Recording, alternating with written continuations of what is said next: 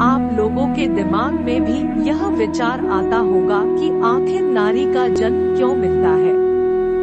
आइए जानते हैं, इसी के बारे में इसके दो कारण बताए जाते हैं।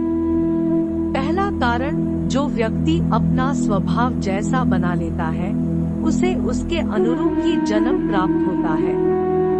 मान लीजिए, किसी ने अपना स्वभाव पशु जैसा बना लिया है तो निश्चित रूप से उसका जन्म पशु का ही होगा। इसी तरह अगर किसी ने अपना स्वभाव स्त्रियों जैसा बना लिया है तो निश्चित रूप उसका अगला जन्म स्त्री रूप में ही होगा। दूसरा कारण, मृत्यु के समय मनुष्य की आसक्ति जिसमें होती है, उसका जन्म उसी के आधार पर होता है।